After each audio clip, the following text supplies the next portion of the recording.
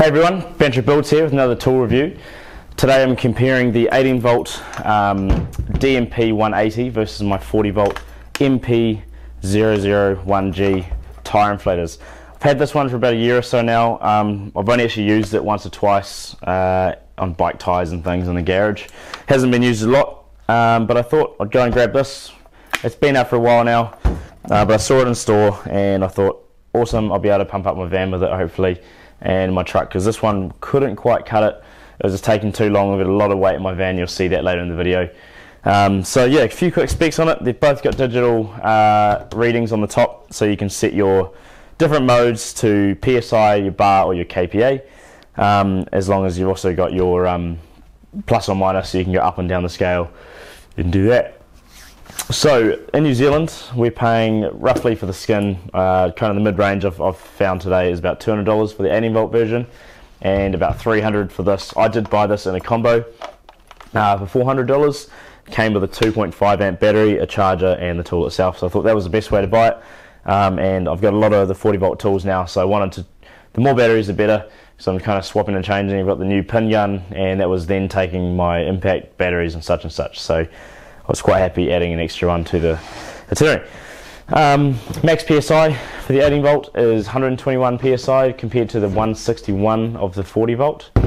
Uh, we've also got a total skin weight, so without the battery, we're looking at 1.02 kgs, so 2.25 pounds, and 2.18 kgs for the 40 volt without the battery, and that's 4.8 pounds. So uh, reasonable difference in weight, which you can also see there's a decent difference in size, um, but that allows us a lot extra flow, airflow, and a lot uh, extra capabilities as far as what we can pump up. So, um, yeah, I'm going to jump onto my van now and show you guys what I kind of brought this one for. The whole purpose of, of the idea of it in the van every day. I don't I don't leave it in the workshop. I take it with me everywhere. So um, yeah, it actually saved me the other day. I was driving to work and the trailer I had on the back um, was a big generator and I noticed it was pulling and jerking my van quite a bit. So I jumped out the car in the, in the pouring rain and luckily I had this because the tyre was almost dead flat.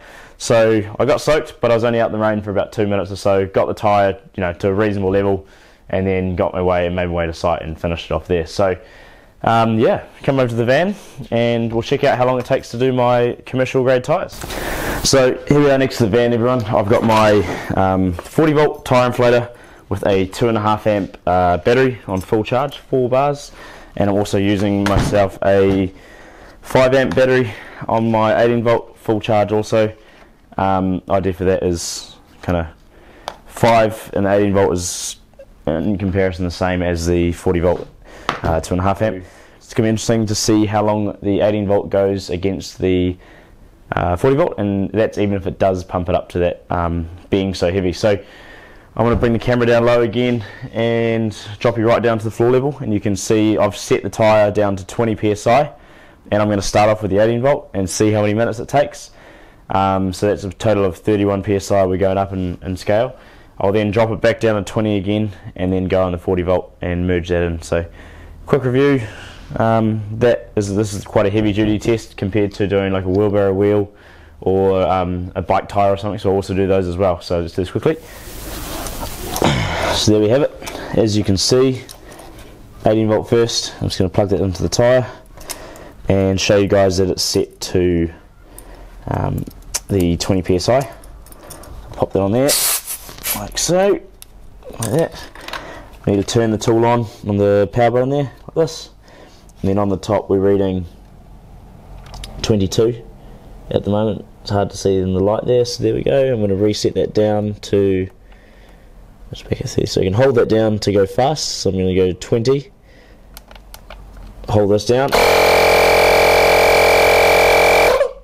And there we go. It's just auto stopped being 20 psi already. So set that up to 51. And almost there. I'm to grab my stopwatch on my phone. And we're really laughing. So, here we go. Stopwatch starting now.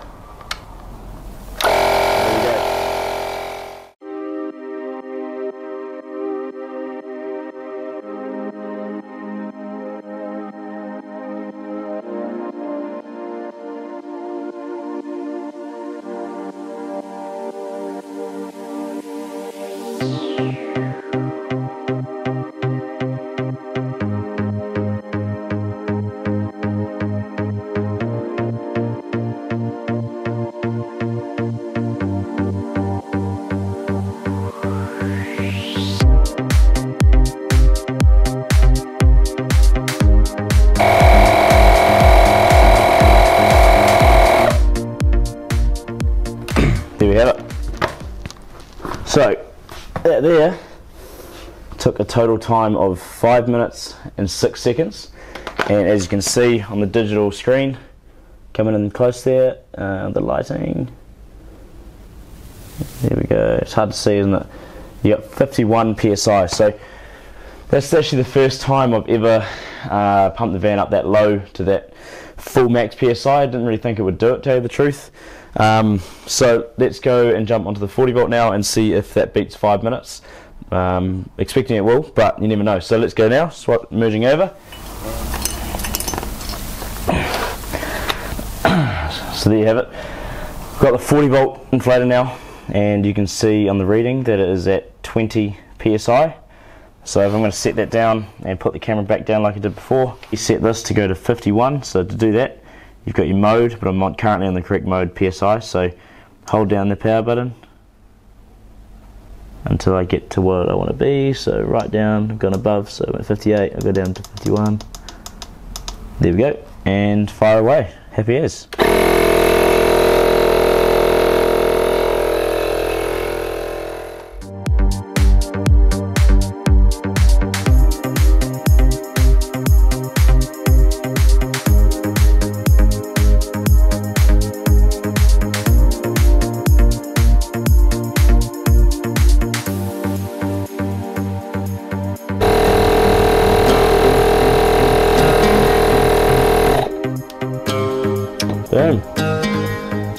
And there you go. So 3 minutes 02 um, for the 40 volt inflator and 5 minutes 06 for the 18 volt. So kind of what I expected.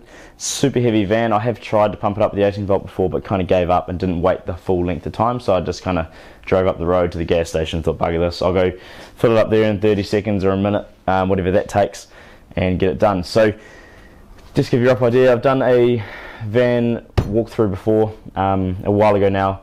Bit better setup now as far as the setup of filming setup and also the van itself. So we'll do a review um, and a walkthrough again in the coming weeks. But just to give you a rough idea, I've got two massive drawers full of tools. Some of them are out on the bench currently, the drop saw and vacuums and things. But I've also got full uh, sustain Festool Systainer boxes full of batteries, skill saws, sanders, all sorts of stuff. So it's not a light load.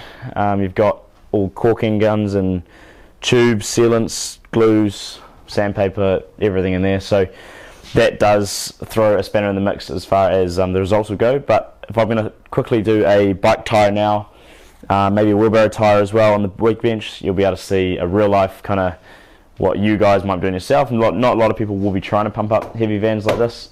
Um, but for me, it's it's just to save me uh, if I happen to get a flat tyre or if I put my spare on and my spare tyre is flat, um, I can do it on the spot, you know, with reasonable time. So, yeah, it's all good. Good, little test to see what the result was going to be. But anyway, let's do a wheelbarrow tyre now and a bike tyre.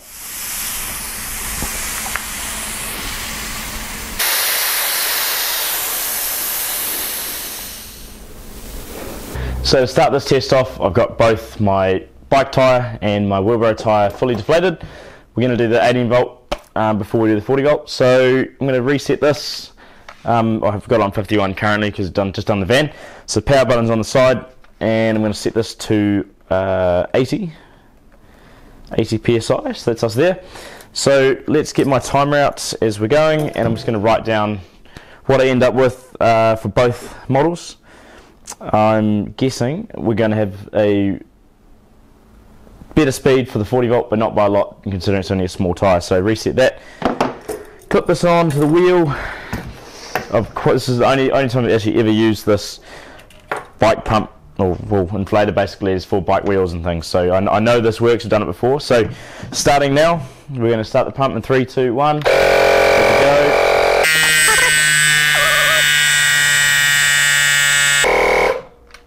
Sweet. So that was 17 seconds total. So I'm just going to write that down over here. on the bench and we have 18 volts, 17 seconds for the tyre. I'm going to pop that off there and drop this back down to 30 psi, which is what I'm going to pump up the wheelbarrow to. And skipping through the numbers now, almost there. That's it, so just hook that on. So 70 seconds for the wheel on the bike wheel, and again I'm going to reset the timer, stopwatch, reset, three, two, one, on there.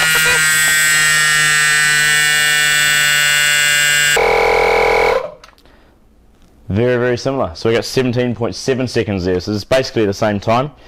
So 17.7. Now I'm going to re-deflate these and do the same thing repeated with the 40 volts. So just give me a moment.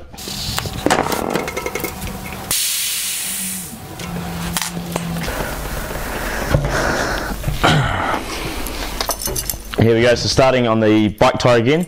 Just going to wind, wind on the 40 volt um, hose here and I'm going to get that set to 80 psi. This one's slightly different. It's got a twist on kind of end to it rather than the clip on 18 volt version. So turn that on. We're going to skip through to, I'm on 80 already, so we're going to go on the timer. Make sure we're following what we're up to. And three, two, one, starting.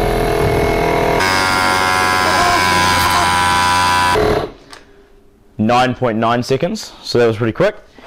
So 9.9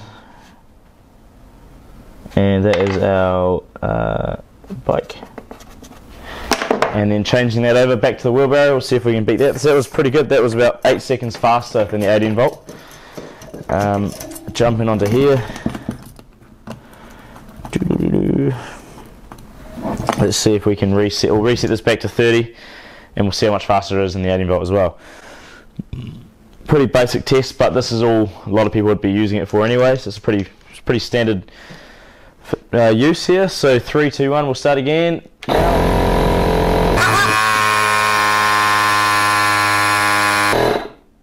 And that was 10.9 seconds. So overall, um, way faster, even over a short period, uh, even over a small kind of wheel on that. So that was a uh, total of seven se uh, eight seconds faster on the bike wheel and about seven seconds faster, um, or just under seven seconds faster on the 40 volt for the wheelbarrow. So it definitely is more powerful. Um, as you can see in the in the video earlier, it pumped up the van a lot quicker than the 18 volt did. 18 volt still did it to my surprise, um, but you see that's pretty solid. So would I buy the 40 volt or would I buy the 18 volt is the question I suppose after those reviews. Both of the tools are still on full charge but that's going to fade away pretty quickly and my best guess is the 40 volt is going to last longer um, and do more tyres just being the new platform and you can have bigger batteries too. I could even go ahead and use my uh, 5 amp battery that I have in my drop saw if I wanted to. I could throw that bad boy on the 40 volt and you'd be going for ages. So you do have that extra capability potentially. If you want to go down that road, if you want to do all four tyres of your truck, I'd be going for that all day. Um, but yeah, so I'd buy it again personally. I think it's great. I think even even though it's only you know seven eight seconds faster on a bike tyre, it's just that it's it's just convenient not having to wait so long. But for me, it's the fact that I can pump up a heavy vehicle um, two minutes quicker than the other one and don't have, don't have to sit there holding the trigger for so long that is one downside I do find of these tools. I think it'd be awesome if you could hold the trigger and then push a button in or something, some sort of lock so that you don't have to hold it the whole time. You could just set it, step back and wait for it to be done. That would be the ultimate and I'm sure many, I'm sure there are other brands out there that must do that. So I'm kind of gutted that Makita didn't do that and, integrate that into this new tool. Um, but it works anyway, so maybe in the future we'll see that again. Um, I would just recommend 18 volt if you're just going to be, um, you know, pumping bike tyres up and, and, little things like that, go for the 18 volt if you already have the platform. I wouldn't jump onto the 40 volt range um, if you haven't already for other tools. I'm already on the whole platform with drop saws and um, all my skill saws and all sorts of things. I've the whole range, so works for me. I can grab it off a tool and anywhere in my van and gun with that. So hope that guys, hope that helps um, answer some of your questions. Um, obviously harder to store. There's a lot bigger, but it's not usually an issue for anyone. So my apprentice has brought the 18 volt I'm going to give that to him tomorrow at work, and he's going to use that himself when he goes mountain biking, and he does it all the time. So that's going to be convenient. Um, hope you guys enjoy the video. I've got another one coming up soon, reviewing my HS003 uh, GZ skill saw, which is the original 40 volt 185 millimeter skill saw. Um, reviewing that to my latest purchase that I got the other day, and that is the HS004 GZ. So this one is the track saw compatible um, skill saw. I'm going to explain in my video when it's out why I brought that and why I'm replacing my current um, daily. This is my daily over here. I've had this for over a year or so, and I'll give you a rundown of what I think. Um, do I like the saw? Does it have good battery runtime and, and capabilities and so on? These are exactly the same. I was gifted this product, so I've actually flicked this on, but I'm going to do a video before I lose that one.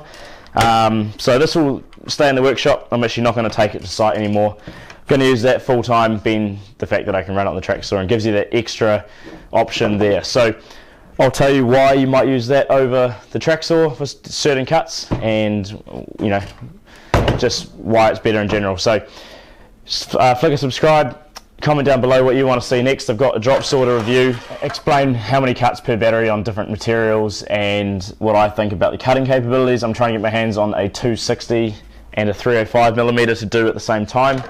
Um, so until then I will hold fire and just wait because I think that'll be a cool video.